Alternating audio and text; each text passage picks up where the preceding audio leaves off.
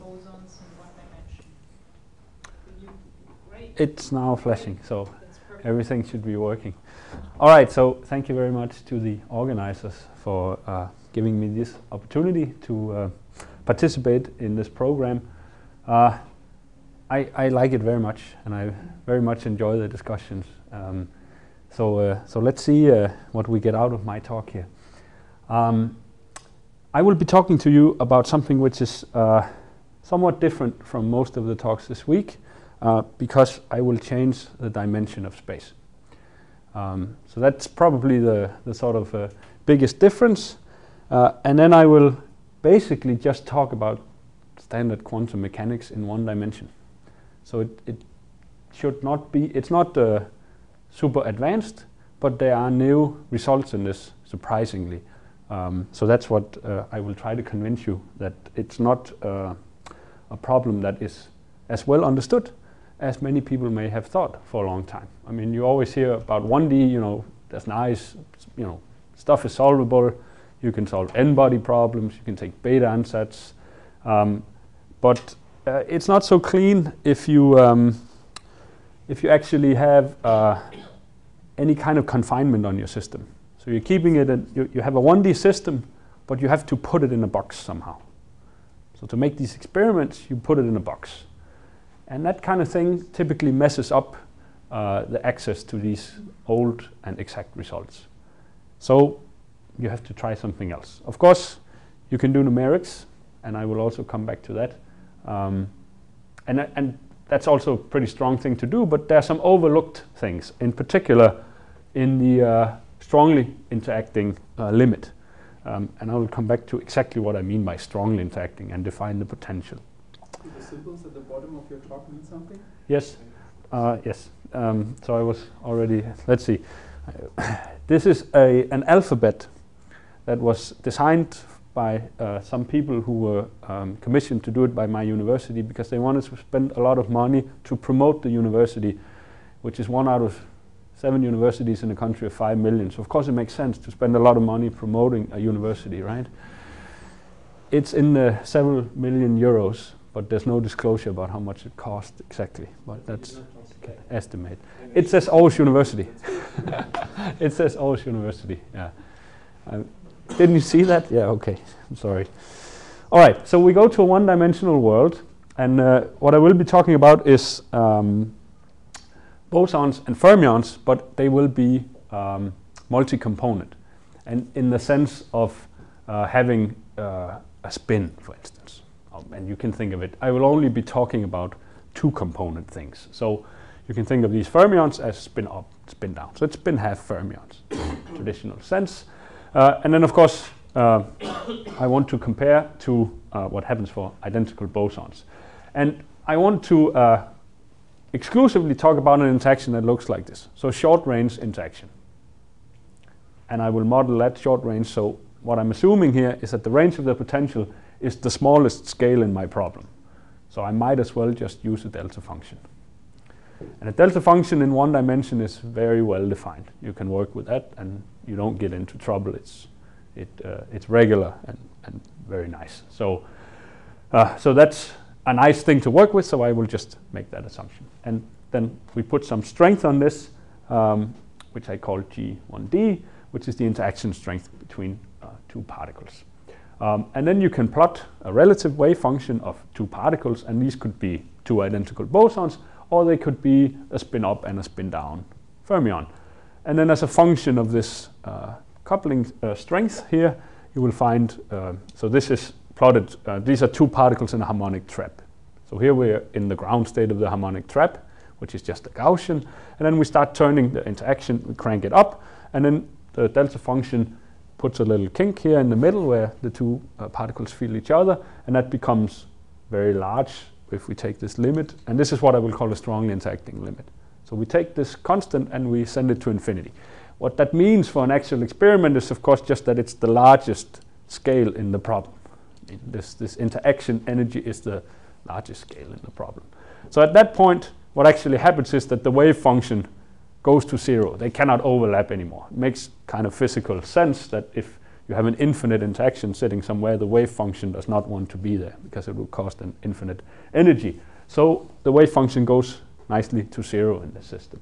And you can even go across from plus infinity to minus infinity and see that then it over kind of overshoots and at when it comes back to uh, zero in the negative on the negative side, uh, it becomes uh, uh an excited state actually.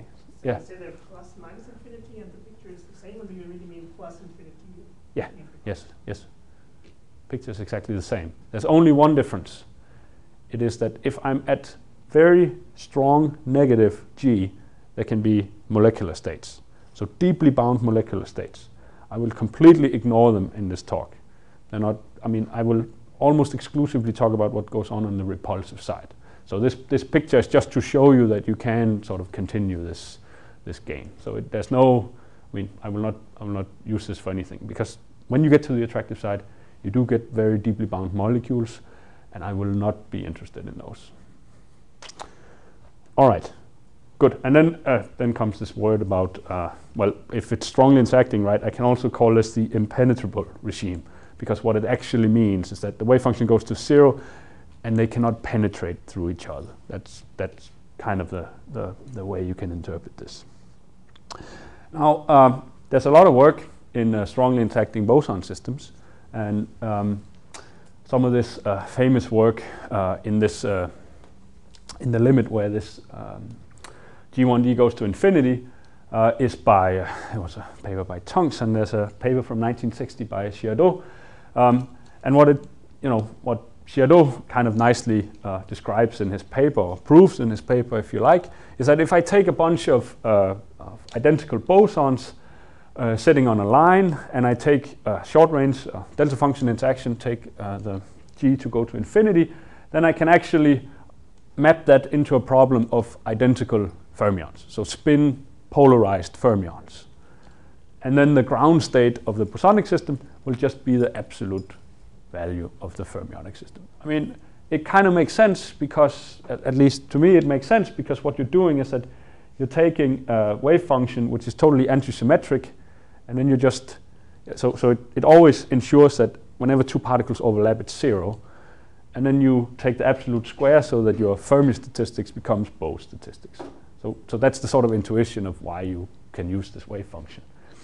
Um, right, and, and uh, um, well, okay, I, won't, I will actually not get into this Bethe ansatz discussion, so that's maybe, uh, but for historical, I mean, I guess historically it's interesting um, that these, uh, all of these models um, of, for 1D n-body systems, it was a field that really exploded in the, in the 1960s, in particular starting from Lieb and Liniger's solution to uh, um, a model of uh, identical bosons with an arbitrary positive G.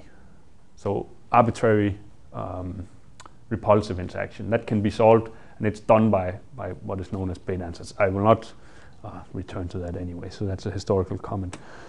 Um, so why is this interesting now? It's interesting because you can experimentally realize these kinds of 1D systems.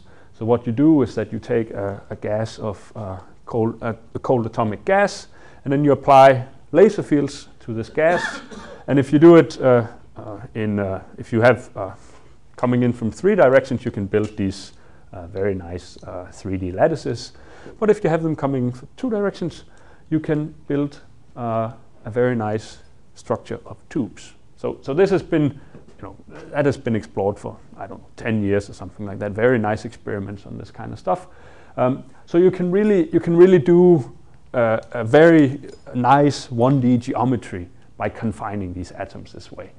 And then there's another thing which is very important is that you can also, so you can work with the Feshbach resonances just like you do in 3D gases, but once you confine your gas to uh, a lower dimensional setting, like this 1D setting here, then what you get is a so-called confinement-induced resonance. And Maxim Olshanii showed at some point that this G1D can actually be obtained, so the effective interaction in this 1D uh, system can be obtained from the uh, dynamics or from the, the 3D uh, Feshbach resonance through this kind of formula. So you see that there will also be a resonance, right, when, when this guy is equal to 1, this setup here. Uh, it's not at the same point as the resonance in the 3D case, but there will be an associated resonance. Um, so that means that you can tune this guy. So you can actually tune the one-dimensional effective coupling in this system. So what was this a perfect uh, that's that's uh, how how tightly are you confining these guys? with harmonic? Yeah, exactly, exactly. It's the harmonic. Uh, how how tight is your confinement? Yeah, sorry, I did I did not mention that. No, that's a good question. Yeah, could you go back Yeah. to your previous? Yes. Sorry, I'm a little slow. No, no, don't so worry. Just rate this as psi b is equal to absolute value of psi f. Yes, So for the two-particle system, that's certainly true. yes, Um, for the many-body or yes. more than two particles, wouldn't you have a mapping function that's a little bit more complicated? Not for identical bosons. For- for the ground stage. For for the ground state. Okay. Yes, For sorry. Okay, if that's what you're asking, yes, absolutely true. It's only for the ground state. If you go higher, then yes, you get a problem. You, you now you want to play with nodes and things like that. So Okay. so yes, You could multiply Absolutely. The excited state of fermionic wave by the signature or the order of the coordinates. yeah, yes, yes. That, that, that that's that's true. Yes. So you so you you need something more complicated. No, I agree. Okay. I agree. Yeah, yeah. No, it's uh, this is a ground state statement. Yes, but I mean even if you go to momentum space, right? There's a difference between. So, I mean, uh, an identity like this had, has made people sort of have these claims about s- hardcore bosons or strongly strongly repulsive bosons, and and spin polarized fermions are sort of the same in 1D. But if you go to momentum space, you can immediately see the difference. So it's not. I'm not claiming anything beyond this this one thing. Ground state you can get this way. Can you say that two component fermions which repel each other are exactly equivalent to non-interacting fermions? Two- First example. No, If you- if This is my, what my no. This is what my talk is about. No, you cannot. limit of the boundary. Yes, yes. No, you cannot. Um, and I will I will make a three-body uh, example where it's kind of it should. I hope it's clear from that. Um, experimental realization. I you know I don't want to uh, spend a lot of time on this, but you could. I mean, it turns out that you can realize this very strongly interacting uh, one-dimensional uh, Bose gas. So you take identical bosons and you turn up the interaction, and you can actually make something that uh, act, uh, that looks like this Tonks-Girardeau gas. Um, uh, and these two papers have, have very nicely proven that, that that's on the repulsive side. Uh, on the attractive side, there's been some papers that were uh, 2009 from um, uh, Innsbruck. Uh, and, and again, you can also do it on, in principle, you can, you can uh, um, continue from the repulsive onto the um, attractive branch in some sense. Uh, this is, these are just experimental data. It's because of the way they probe these gases by looking, by shaking and then looking at the monopole mode. Um, so, and there's some theory curves that it nicely fits. I will not get into any of the details of this because I just don't know it. Um, so let's instead go to the 1D fermions and now come back to a two-component system because that's more interesting. I, I definitely agree. So if we got uh, two-component, um, uh, we got. So let's take a, a spin up and a spin down system, right? Then I can draw this picture again. I mean that, that's that's the same picture as for two identical um, bosons. However, if I take two identical, you know, nothing happens. I, I just have my antisymmetric wave function, and, and that's it. That, that, that's all I have. So, so that's, that's the difference between these two in the two-body sector, right? I mean, this. I hope you all agree that this is sort of, you know, relatively straightforward. There's, um, now, how, what, then what do you do to actually figure out how does this work out in an experiment? And what is so amazing about it is that you can actually do an experiment in a 1D system with two particles. So that's the sort of that's that's the sort of amazing thing that that came out with this paper is that you can go down to two particles in a 1D setup, you can tune your interaction, and you can do these kinds of experiments. And how do you do them? Well, you take uh, you take a trap, and then uh, you can either take the up-down system or the up-up system, and then you you open your trap on one side, and then you you study what actually what tunnels out. So you open it slightly and you keep opening it and then you watch what, what is tunneling out. And then if it looks if the system starts out with two uh, spin polarized fermions like this, then you expect okay, well it tunnels out as soon as you know the rate becomes large enough for this guy to go over the barrier. I mean, it's you can do this in WKB. I mean, it's not it's not a it's not a super advanced theory. Um, whereas if I'm in the up-down system, then it depends on the interaction. So it really depends on how big is the interaction uh, here. So so as I increase my interaction, yeah, Uh, just one question from my understanding. The 1D trap, so what you show as a potential is in the in the really in the 1D direction. So the confinement in, Yes. the, in the other two directions is even much larger yes, yes. Okay. It's complete. There's because it looks Absolutely. confined along the Z direction as well now. Uh, so Okay, okay, okay. That, that's. I, I agree. I agree. It, it, it that's to to squeeze out the difference. You know, I want to see the level difference here, and that and it is highly confined in that it, it's so highly confined that you can easily see that you have a you have a level spacing also in the trap, in the uh, in the 1D direction, so to speak. So Is they, it then 1D or is it zero dimensional even that these guys are? I would call it 1D with a harmonic trap. If I mean, so do you see what I'm saying? The aspect ratio is about ten Ah, between the trap Yeah. frequency See, and it's the Yes, direction. that is true. the flow X, direction. Y. Yes. Okay. So you have to you have to put about 10 particles before you start to feel The that next- th- the next thing. Yeah, yeah. So so it's pretty big. So as long as we're at two here, we're okay. Okay. I don't know, but that, it, it's a it's a good question. Um, just to show you some experimental data from this paper here. So the the uh, the resonance uh, sits around here, and the point is that when you're when you're at the resonance, you actually and let me go back to uh, the wave function. You can see that I mean, so this is what is called fermionization here, right? Because this wave function and this wave function are similar if I just flip this guy up, right? So you so you expect that I mean the energy of this guy is also the same. so that means that at this point, at the at the point when, when the interaction goes to infinity, I expect that the up down and the down uh, and the up up system should behave in the same way. And this is what you see here. So this is these tunneling times actually meet around here within sort of whatever error bars is here. And you also nicely see that if I just take the two um, uh, spin up fermions, then nothing ever changes to this tunneling rate. They don't, they, they don't feel the interaction, right? So I change my, and they don't feel it. So, so I think this is a very beautiful experiment to show that you can actually do two-body physics with short-range interactions in a harmonic trap with very few particles. Um, right. Now, okay, let's complicate things and put three fermions. So if I have three fermions, then um, let me just, for the sake of argument, I take two up and one down. And then, the, you know, what's the wave function, the relative wave function between, the two up? Well, it has to kind of look like that, right? I mean, it's two identical particles, so it has to be antisymmetric. Okay.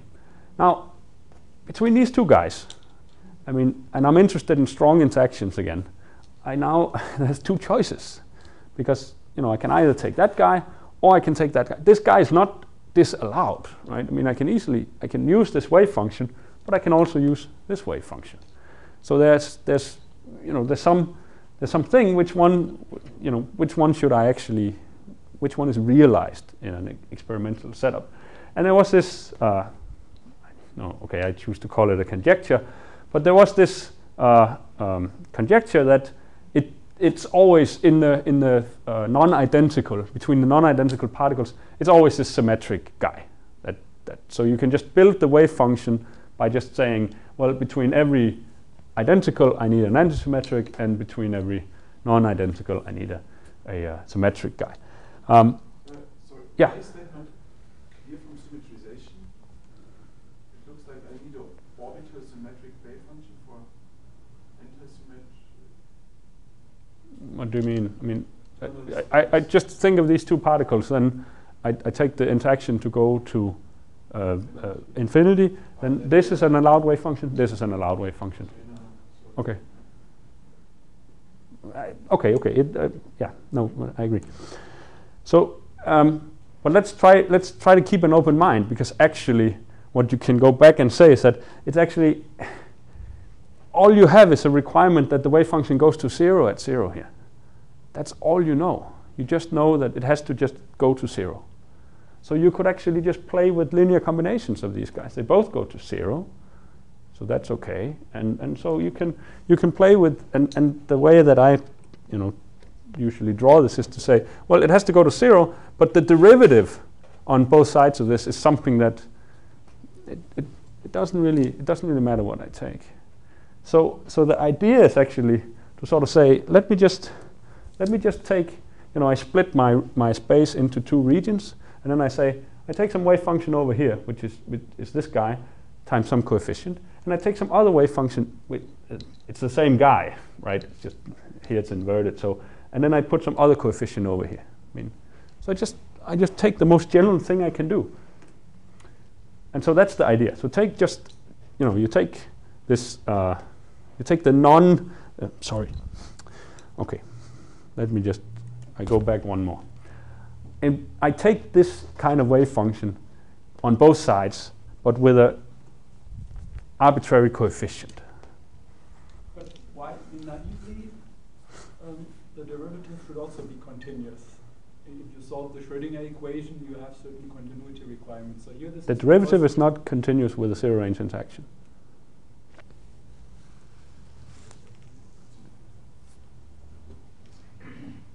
I mean, if, if I have, it's a zero range interaction, right? So the derivative is discontinuous. So, but in experiment, it's not zero range.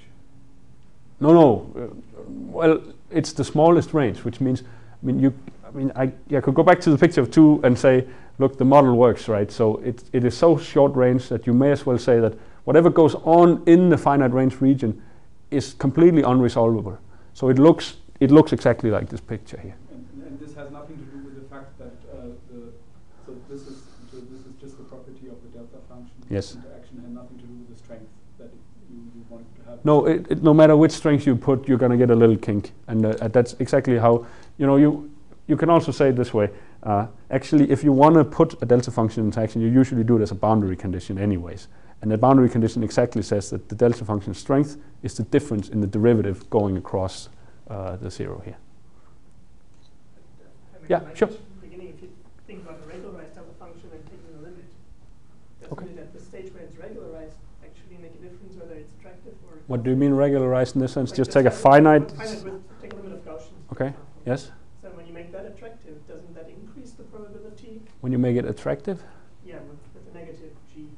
Yeah, yeah, okay, but I want to avoid this. I, I agree. Yes, it does, and this is the this is the very very you get very very bound molecular states. Right, but, but it, from your picture, as soon as you say it's negative infinity, it goes back to the kink going down to zero, or is it actually infinite deep? It can have both. Yeah, yeah, you it, it's true. Yes. Okay, you don't consider it. Yeah, yeah. No, we, we, we throw away the infinitely m- deeply bound states in this way. Out they go because we're actually interested, and I'll show you a picture of, of the um, of the uh, energy spectrum. We're more interested in going from the weakly repulsive to the strongly repulsive regime. So so that's I mean, it's it's a mental picture. So okay. Um, okay, so the idea is just to keep these as uh, three uh, as free parameters that you can vary and then solve the problem this way. So you, uh, so let's say, okay, so we split the space in patches. We got one, two, and, and we got two spin up and one spin down, and you can split your coordinates here. And I, I've written a relative coordinate uh, between the two identical, and then uh, that's the x, and y is the distance to the to the spin down. Okay, so it's kind of standard choice here. And then I can split all of these, uh, the space of x and, and, and y here, I can split into six uh, regions here. And then I know that Pauli principle requires it to be antisymmetric across this line, because that corresponds to x to minus x here. So that's what I know, so I can concentrate on this region because I know what I should put on the other side if I'm done with that. So I can concentrate about this stuff, and on exactly on these two lines here, you will have a, a up and down come together on these two lines here. So the, so the thing I'm saying about keeping an open mind and taking the derivatives uh, as your, as your um, variational parameter, if you like, is just to say, okay, I'm going to put in here, I'm going to put a, a, the wave function of three identical fermions in this region with a coefficient of A1. I'm going to do the same in this region with a coefficient of A2. And I'm going to do the same in this region with a coefficient of A3. So now I'm exploiting the fact that actually the, the energy of the system, because of the way the, the zeros, I mean, it, it still has to, uh, let me go back to this. So, so no matter whether I, I'm, I'm in the, um, sorry, the, the state that I take here is the, uh, the non-interacting state is the sort of the one for identical spin polarized fermions.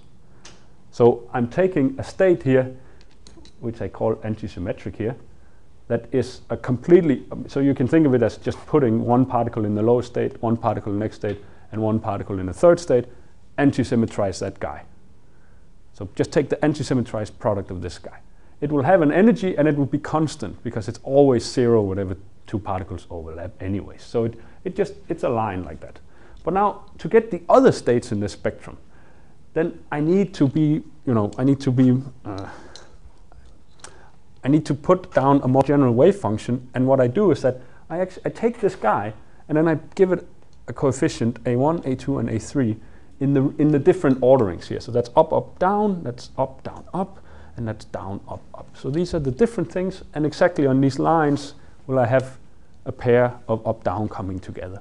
So this is where, on these lines, is where I, I have to uh, you know, play with my derivative.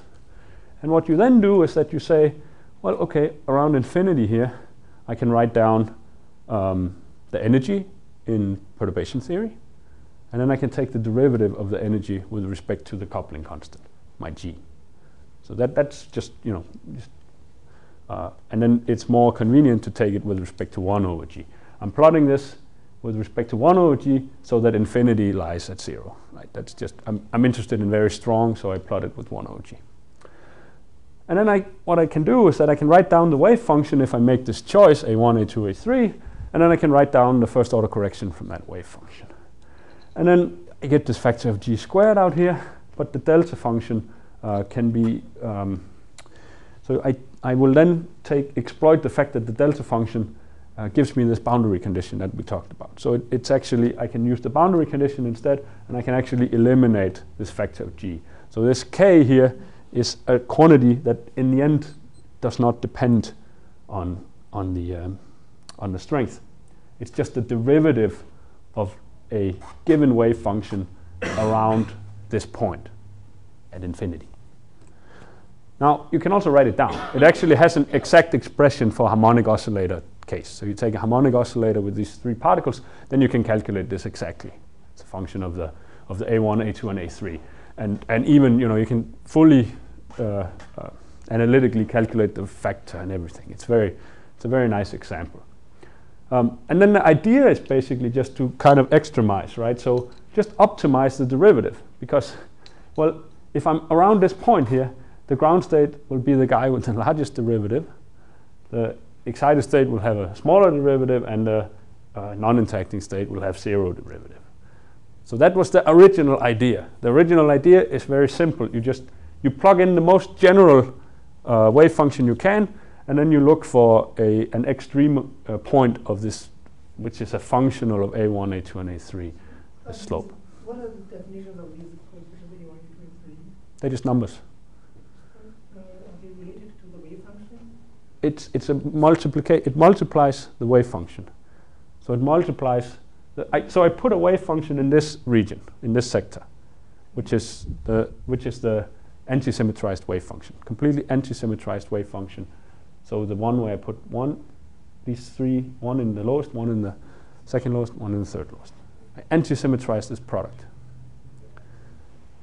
But I still don't know what A1 is. A1 is a number. So over here in this region, I take the anti-symmetrized wave function. I'm, I'm building the most general wave function I can.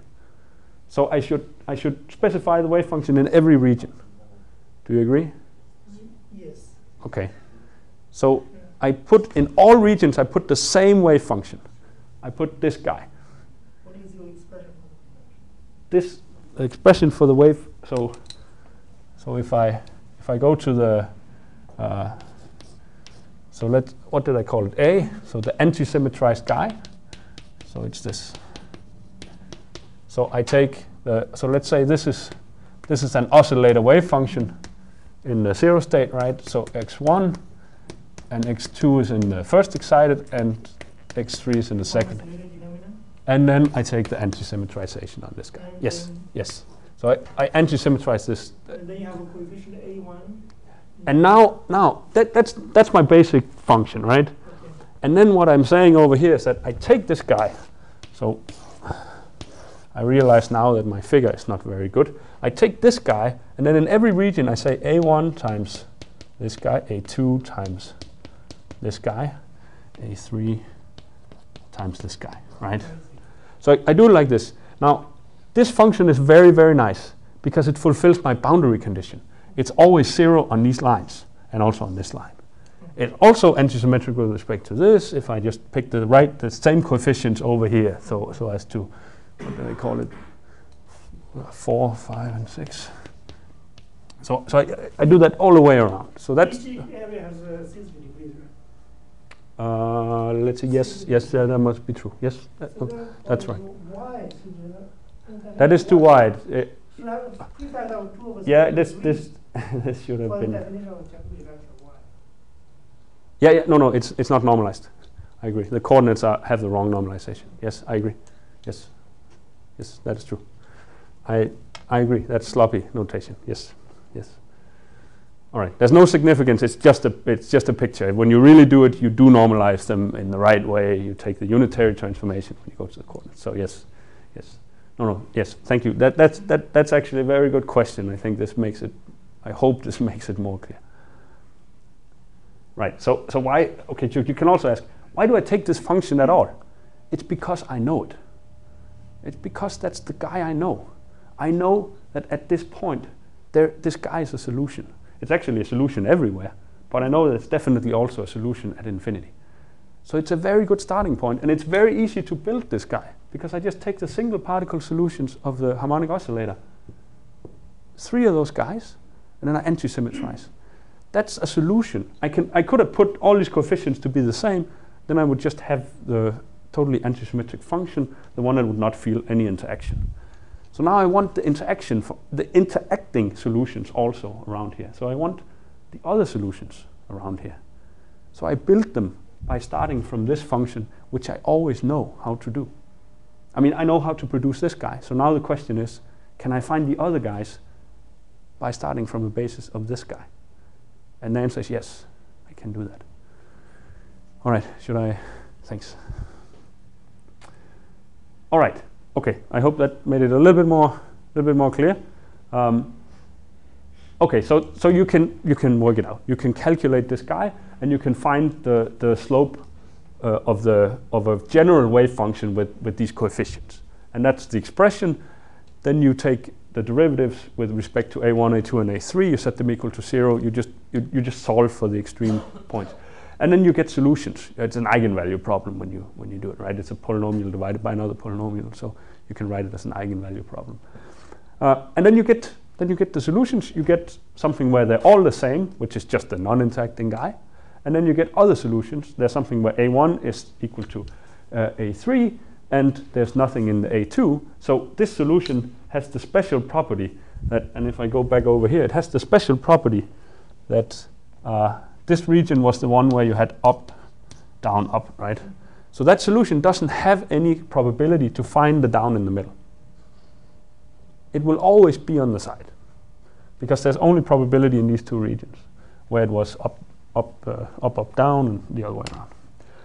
So, and here's the ground state. The ground state has some non-trivial coefficients, which are different from, from one. And I think, you know, the important point I wanted to make here was just that these coefficients I mean, here's for a non-interacting solution, they're all equal, and you could say, okay, they're, they're you know, prob- probably normalized, they're just equal to one. Um, but there will be ratios in general to find all these other states.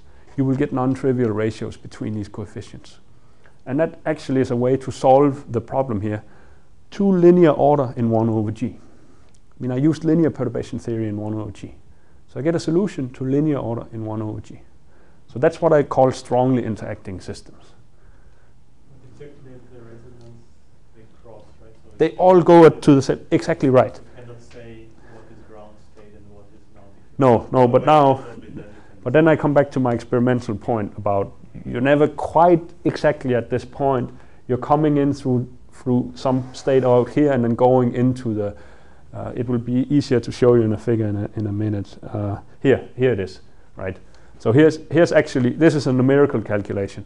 Um, uh, this is uh, yeah uh, one that we've done with a group in Sweden. Um, but I want to point out here that uh, it's almost lost down here. But Dorte also did this with uh, Ibrahim.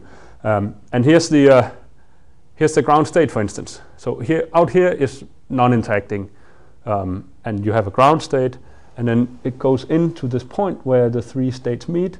And, and you're absolutely right. They all become degenerate at this point. But of course, what you're interested in is you know the region around here.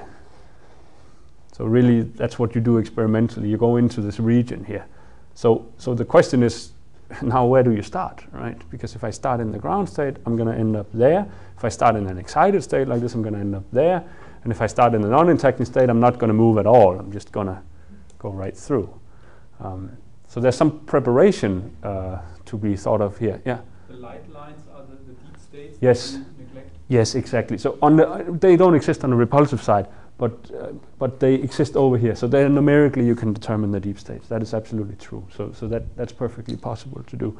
Um, there's a funny way to plot this, um, which is basically just saying that you can actually so they they connect on the side here, right? You can see that this this energy and this energy, if you plot it too far enough, you see that they actually go to the same energy asymptotically. So it's very nice to. So the non-interacting region is on the far side of this of this guy, and you can follow a state going from molecular ground state and then around, and then it gets this kink here, and then it goes to some non-interacting, and then it goes around again. So, so it's a it's just a fancy way of plotting it. I could not resist uh, showing you this. do you do that? How do you plot it? Uh, yes, no, no. You, you have to you have to think about what the parity of the state is, so that you know exactly what it's supposed to meet on the other So side. do you make a picture? That's my question. The plotting program? Oh, this this I don't know.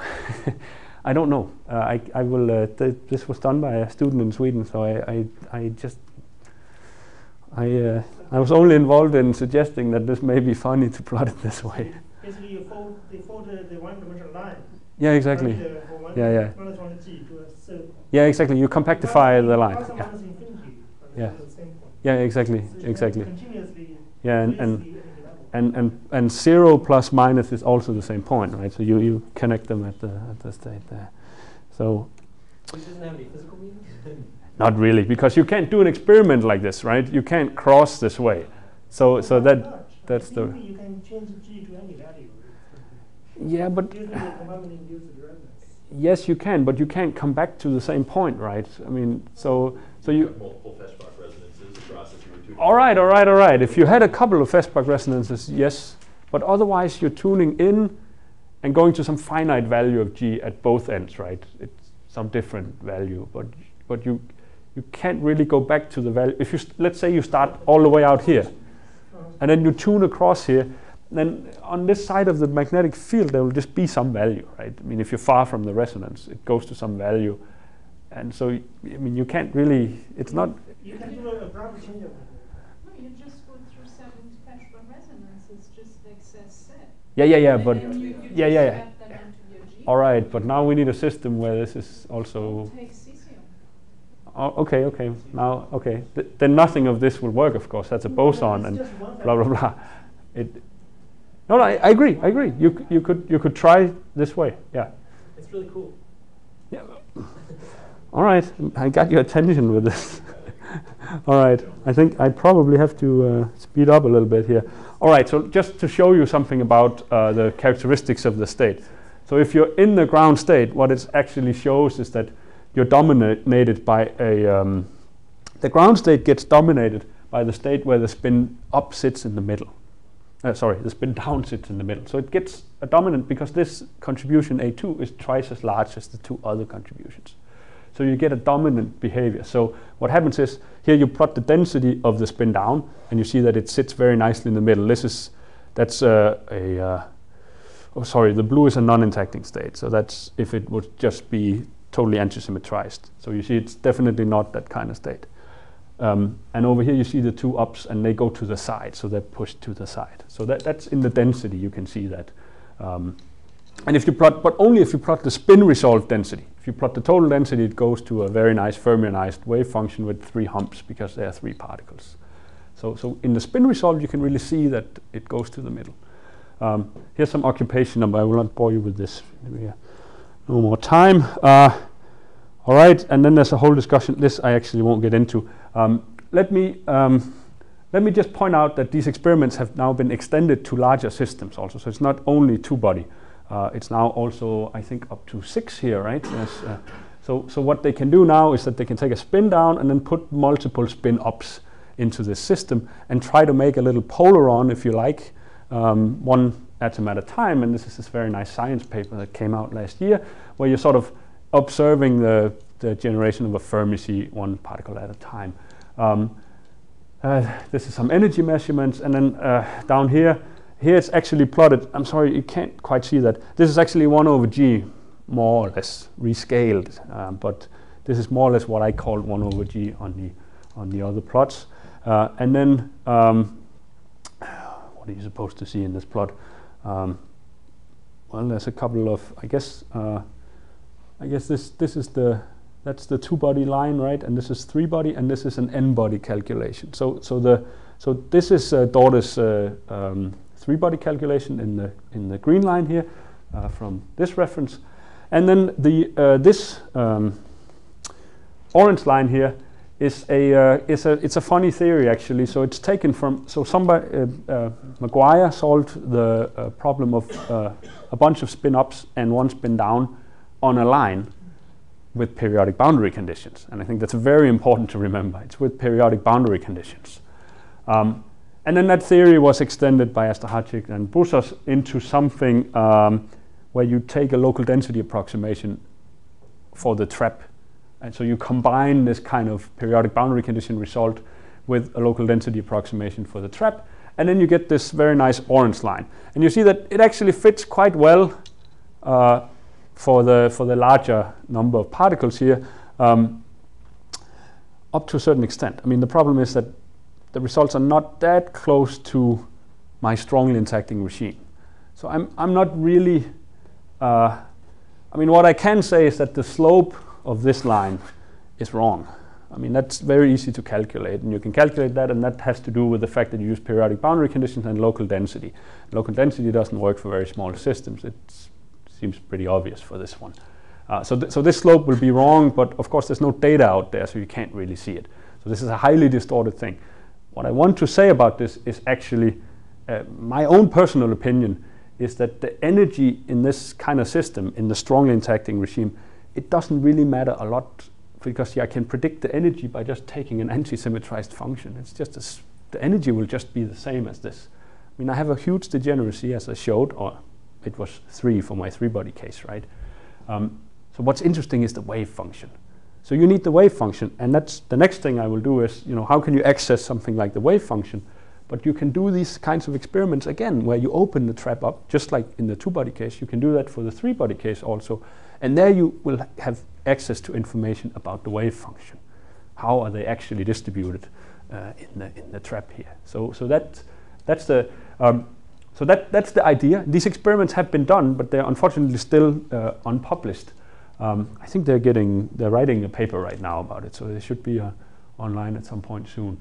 Um, here's uh, our theory uh, calculation of this kind of pro process, uh, and let me just speed up to the point here. Um, here's, here's my uh, strongly interacting point. So this is when g goes to infinity. You see the data point is there. Uh, the theory is, the blue one is a theory curve. This is not a very, it's a, it's a rather simple calculation what we're doing here. It's a transition state model uh, that Bardeen invented for something in Josephson junctions back in the 60s, uh, I guess. but the important point is that this doesn't go to one third. So if, if I was in a completely anti-symmetrized state, the chances of getting the spin down out, which is, uh, sorry, I didn't say that. This is spin down divided by total. So the chances of getting a spin down out is one third because they're just completely fermionized and they all behave the same. And it, it's, it, it does not go to that. But of course, there's no error bar in this.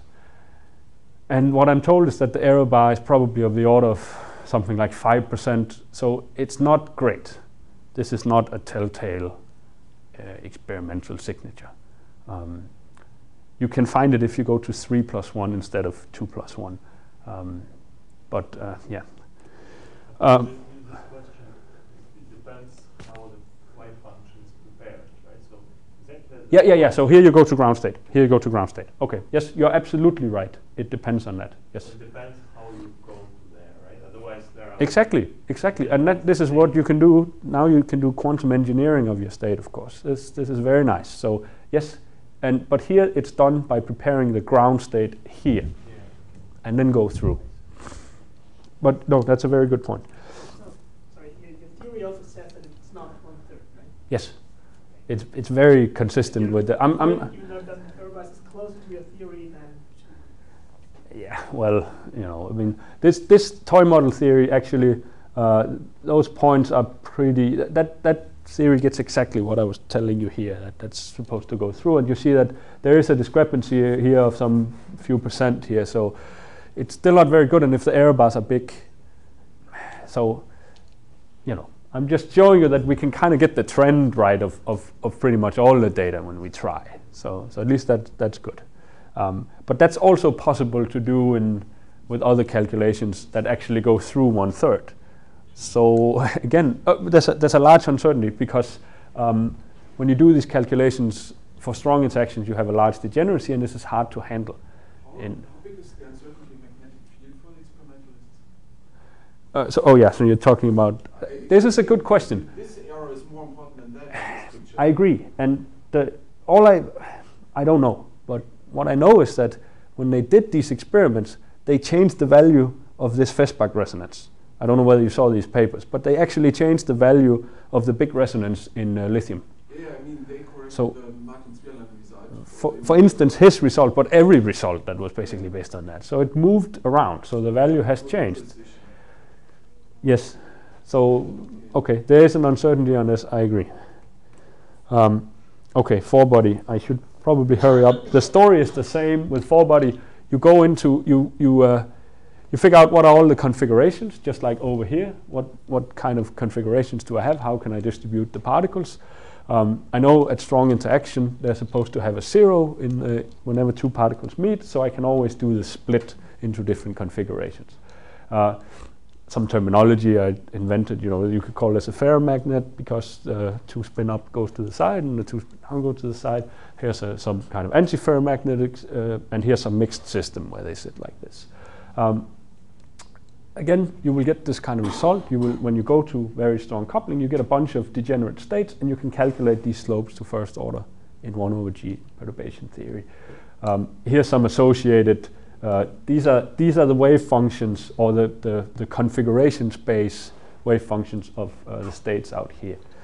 Um, let me just show you a little bit. You can also do this for excited states because you can always predict the excited state will have a different non-interacting state. It will have a different state which is flat.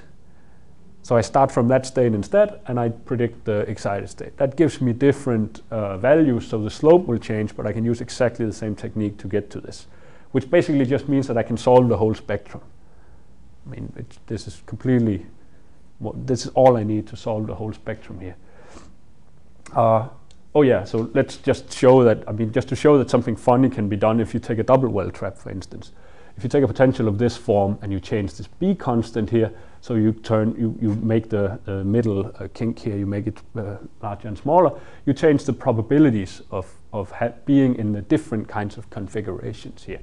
Uh, so if you take, uh, so the ground state is, uh, so the anti, the ground state is dominantly antiferromagnetic. You see it has a probability of about two thirds of finding the antiferromagnetic state in the ground uh, in the ground state here, and then smaller probability of the mixed and very small of the ferromagnetic.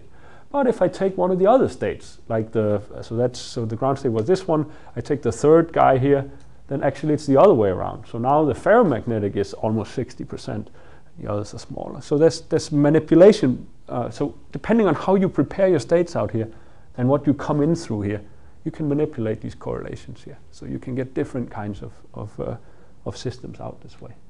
Um, then uh, let me just spend a few minutes on bosons here. Um, you can also think about this for, for doing a bosonic system. Now I draw the same sketch and it's the same story again. So it's the same story. Now I want to take two component bosons. So they are bosons with an internal state, which can either be an A or B. I just call them A or B, not to make this, yeah. You know, many people draw these arrows and then people think it's fermions, blah, blah, blah. So let's change that. Uh, so I call them A and B, but the story is exactly the same. And I would try to solve it in the same way. But now there's something funny because what you can now do is that you can consider a system where there is no AA interaction. So take a system where you take a three-body system, you don't take any AA interaction. Just put that to zero. The A's are non-interacting, but there's a very strong interaction between A and B. Now that Hamiltonian looks like that, right? So the 2 and 3 will interact and the 1 and 3 will interact with the G2, which I will then take to infinity. And here's kinetic energy. And what you see is that actually uh, this is numerical. Uh, that's uh, done by Artem in stochastic variation using Gaussians. Um, and you get, um, actually that's the first application according to what we could find at least of this stochastic to exactly this kind of zero range problem with, with bosons. And apparently, but you can correct me if I'm wrong here, apparently it works extremely well um, uh, this is analytics, uh, is this line here. So we can do an analytical theory uh, along the lines of this, a little bit different. Um, because the wave function, the wave function different in this case? Yes, because you don't have the condition of zero here. Oh. Because the, when the A and A meet, they don't need, there's no requirement. So how do you modify that? Yes, uh, that's that. That's the real. That's the real question. You go to a hyperspherical coordinate. You decouple. Uh, think maybe we should talk about it this afternoon. I think it's a good question, but uh, let's let's postpone it uh, if if that's okay with you. Okay. Um, Right, so, so you can, and you can get an analytical theory and you can compare and look, looks very, very nice in the strongly interacting regime, um, as you can see from this picture. And then let me plot the wave function for you. And again, I'm using this, this uh, picture here with the, with the, uh, so you see here's the ground state. So this is the AAB configuration and this is the BAA configuration. So you see that the probability of finding AAB or BAA is the same and it's the only non-zero one. So in this kind of state here, that's the ground state. So if I go back to this picture, that's the state here.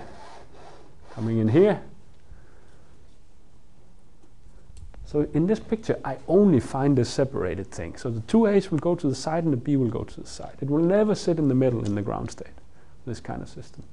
Um, if I go to the first excited state, it's the other way around.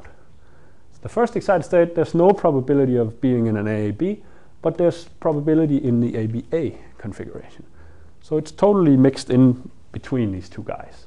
Uh, and you can do a second excited state. What happens is you get the same sort of thing, but in the second excited state, there's a radial node sitting here. That's all I wanted to see with this picture. And then you can compare to the ground state, uh, to the ground state of the fermions I was talking about before. And you see that in that case, there's big probability in the ABA uh, thing, and then there's also probability in the other thing. So the fermions are mixed in in a different way. So here you see a big difference between um, the, the, system I was talking about before and then this two-component bosonic system. Um, okay, could you call it perfect uh, ferromagnet, perfect antiferromagnet? Well, okay, that's a good question. And then this morning, sorry, yes? So I, am still wondering, so I, I, understand that these wave functions, they come from the lowest one. Yes. When you really come to this point yes. where everything mixes, so isn't it that yeah. I, I do not know, can they really measure this kind of things? Because when you come close, everything can mix with each other, right? So no, no, they, they have no overlap. So they're orthogonal states. So no, so they don't. They don't do mixing. So will, there is not unless there's some impure thing. There, there has to be some breaking of, of the Hamiltonian break the spin or break break something. You have to break something too. But you're saying if they really slowly follow. Yeah, yeah. Yeah. Yes. This what they yes. see, right? Yes. Yes. Okay. Yes. That's because the other ones are. Yeah, yeah. It, it, it's actually the exact eigenstates. That that's the that's the issue. Um, you, yeah. Sorry. Also, you don't have it there, but you're assuming a harmonic trap. Yeah. Sorry. Oh shit. And, um, yes, you're right. I forgot. In the Yeah, sorry. It would, wouldn't be exactly harmonic, so on um, as long as it's spin independent, that doesn't make any difference. As long as it's spin independent, you can do any trap you like, as long as it's spin independent. Okay, we can discuss this later. I can see, but okay, uh, that that that will be my that will be my claim. Um, In the experiment, what are A and B in practice? Like two different. hyperfine states of, for instance, a rubidium atom. So that would be the two-component bosonic system, as so to speak. You always have an odd number of projections for that, right? How Yeah, but you got to populate two of them. You got to make sure that you only you populate. do that Yes, no yes, absolutely, absolutely. To uh, such a high degree that it doesn't really matter for anything. Yes, you can do that. No, no, I, it's a very valid question because when you say two-component bosons, people think, "Oh, that's spin statistics. It doesn't work." It's a, it's an engineered system. It's not a, yeah. All right. Uh, I got this this morning from my uh, grad student in Aarhus who computed four-body also, uh, and I just wanted to show you that you you get. So so what I did not. Okay, shit. Uh, what I didn't say here is that you should actually notice the energy here. It's two and a half. So the energy is two and a half, right? Whereas if in the sort of fermionized energies would always be integer in the harmonic trap, right? Because I populate one, two, three, you know, take out zero point and all this stuff. But then it will always be integer, zero plus one plus two. That would be the energy of this kind of state. And here, in these kinds of uh, cases, I actually get a fractional energy. So we call this fractional energy state, if you like. Um, so that, that's an important thing to notice. And then we thought, okay, that's pretty funny because when people say fermionized systems, strongly repulsive systems that behave like fermions, you typically think of these antisymmetric functions. And in a harmonic oscillator, they will always have an energy which is an integer times h bar omega, always, because you're just summing integers. Here you see something else. But of course, we turned off the AA interaction to get there. Remember that. I mean, it's a manipulation, but uh, nonetheless, it's an interesting one. Um, you can also do it for four body, and you see something similar. Um, and again, you see they don't necessarily go to um, integer values here. I'm, I don't show this over here. I got a plot. It's a mess because you have to figure out what's going where and what's a mo- molecule. You saw it already in the 2 plus 1, so that's why I don't show this. Uh, and the guess is that this kind of state that you get here is probably of this structure. So it's a kind of an AABB kind of system. So it would again be some separated uh, system. I mean, we spent like 20 minutes trying to figure it out this morning. Um, but that we have not, I don't have a density plot for you, so I cannot back this up with anything. But this would be my guess, that it actually separates. So you would get a perfect ferromagnetic ground state, if you like. Right, uh, okay, so let, let me uh, wrap this up. Um, okay, so uh, okay, so the first comment is about something about uh, Bose-Fermi mappings. Okay, so we have a theory that can do stuff that this Bose-Fermi mapping cannot do. Um, it's important that we connect these eigenstates in the spectrum, right? It's important that I actually know which branch, exactly your question. I gotta know where I'm going, where I'm coming from to know where I'm going, and this will define my correlations. So it's also something I can manipulate if I can change my starting point. Um, so that means that magnetic correlations can be accessible in this way. Uh, good agreement with experimental data, maybe I should have put that in quotation marks. Um, then here's another point is that you know, fermion bosons, they can be very different in the hardcore limit. I showed you a few examples. So, I, so this sort of thing that people say about hardcore, as soon as there's more than one internal state, you got to be very careful with this. Uh, that's, that will be my sort of statement about this. You have to be very careful, but we can actually solve this stuff. But I, I would say that most of the stuff that's in the literature right now has neglected this fact that it's much more complicated. You can't just map it onto something where these coefficients are plus minus one or something like that. It's a more complicated problem you have to solve. Um, leads to engineering of ferro and uh, antiferromagnetic states, and then of course wave functions. For me, wave functions is the most important thing. The energies are not ve really very important to me uh, in this sense. I'm interested in wave functions, and that will also bring me directly to my uh, so you know my outlook. Um, so all of this stuff, uh, well, okay, I showed you some stuff for most of this. Uh, so my outlook is actually to do dynamics in these systems, and of course for that, of course I need to know the the um, the energy, but I need to know the wave function very well. I need to have you know, basically exact results for that to be able to do this kind of thing. Um, let me just uh, acknowledge uh, the people here. Of course, Artem uh, worked a lot on, on this stuff when he was a grad student and still does. Um, uh, Amin, my other grad student, did the calculations on the four-body. Have to thank my collaborators, Dimitri and Axel in Aarhus. Uh, Manuel Valiente, who's in Edinburgh, uh, um, worked on this project. And then uh, Jonathan Lindgren and Christian Forssén, Jimmy Rotureau in, at Chalmers in Sweden, did uh, a lot of the numerics that I was showing um, using uh, Lee Suzuki uh, transformation. In 1D, it's very nice, right? Because you, you don't have degeneracy of the single particle state, so you can go and it's very, very convergent. And we could, but we had to check against analytical results. So the comparison there was very, very important for us.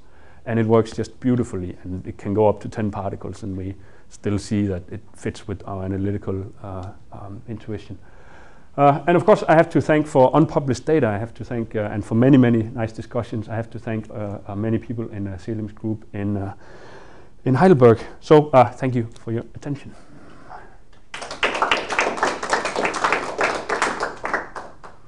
Thank you very much. Do we have more questions? Yeah, I have one. You discussed everything in terms of this, this uh, coupling constant of the, this delta function. All right. If- If I want to think in terms of observables, what observables should I think of in, in, in these, I mean, what, what are you actually changing? Um, yeah, It's it's- energy difference or something? it's it's the it's it's exactly the same mechanism as in a Feshbach resonance. It's just it, a Feshbach resonance where you now the, the particles get squeezed into 1D geometry, which changes the, the the interaction, the effective interaction you get out. So it is it the magnetic field is moving around um, uh, states in in the in the different uh, magnetic channels. So it is the same mechanism as it's a Feshbach resonance, just in a different geometry. So you could replace this by a 1D scattering act or something like that? Yeah, yeah, yeah, sure. It it will. Uh, yeah, yeah, sure. It's one over one over length, I think, to get it to work. Yeah, yes. And and it's very well defined. There's no regularization you need or anything. Yeah, yeah. Uh, just one question, in the experiment, can they always, when they start at some value of g and then they go to this Feshbach resonance or this induced resonance, can deterministically at that starting g prepare in which state they are? Yes, uh, they, they, can with a pretty high, uh, uh, yeah, yeah, fidelity or whatever you like to call it. They actually can. They can excite the, the other states. So that, that has been done as a check of the system. Uh, so so yes, um, not all states. I mean, because you do it by doing some shaking in a certain way. So that means that an operator comes in, and so you need. It's not all states, but you can change the state. And for me, that that's good enough in some sense that you can you can take a different starting point if you like. You probably have to worry that it decays. somehow. I mean, because what I mean, if you then take pictures and say, okay, data points, then each data point corresponds to a new preparation of the system. So if you would like really to see that you go through. you got to prepare. You, yeah, you got to be sure that you always did the same experiment in Agreed. each of each picture. Yes, agreed. Yes, Okay. as always. But okay, yes, Yeah, yes. yeah, yeah, yes. But that's true. Yes. Yeah. So uh, at uh, infinite coupling, the wave function strictly vanishes when two particles, interacting particles. Exactly right. Yeah, But uh, if you're slightly away from Yes. infinite coupling, that's a very then good question. the wave function uh, takes uh, the value of the wave function is of order one over g Yes. when two particles coincide. Yes. Yes. But this uh, variational wave function strictly vanishes. So Agreed. I would expect that you introduce error of order one over g squared. Yes, I agree. It works to one over g. Yeah. Yes. Yes. Sure. Then my Sure. question is uh, how you can estimate uh, the coefficient in front of one over g squared. It's a good question. We're working on exactly this. No, no, it's it, that's exactly the right question. How can you extend this to actually know the error of this thing? And there's, uh, you know, can can you do perturbation theory to a higher order and see see what happens, for instance, or should you rather mix something like weak and strong coupling uh, solutions in in or, or you know you can always compare to some numerics for the small system sizes. so there you can you can check how well am I doing on this. Um, my feeling is that perturbation theory is a lot harder than you think because of the the reason you say it goes to zero and has a kind of kink behavior. So that makes perturbation theory more difficult. I wonder if this idea of uh, handling the second order perturbation Yeah. this, that was discussed yesterday may be relevant. Yeah, yeah, no, no, I agree. I thought about it last night actually. Yeah, it, it could be, it could be. Yes, yes. Uh. Did nobody do Bethe ansatz for that? It's impossible. Bethe ansatz can only, yeah, Not beta, be, it's it. I, I. That's a way of speaking that I would not recommend in terms of talking about few body systems. Yeah. But I agree, I, and I and I think I learned in the last several months what that actually means. Um, Bethe ansatz can only work if you have uh, diffractionless scattering. So it's it's a condition where you need to start from these plane waves, and then and this you cannot do in a, in a trap. I mean, you you so as, as soon as you get something else which is not just simple plane waves, okay, there's one over r squared potential. There's some very special cases, but I'm talking about very general. I only showed results for harmonic oscillators, but it it has nothing to do with that. Any 1D potential will do. Um, so so the Bethe ansatz cannot solve confined things unless it's a box, because a box is also plane waves just in certain linear combination. So and Bethe ansatz only becomes tractable once you take periodic boundary conditions. So there's some other stuff. Or, or, the box, okay, or the box. If you replace the uh, harmonic potential by Stanford potentials, so potential is constant in each region, then can you still apply that? That's a good question. I don't know. Uh, probably you can because you, if you can control the boundary and then between the two regions that you're talking about, then I would I would think you could, but you're starting to do kind of local density in some sense because you're unless you do it exactly right. You take a wave function from Bethe ansatz in each region and then you then you match them up. Um, I don't know. I've I must see. I I would think you could, but I've never seen it. Uh, that.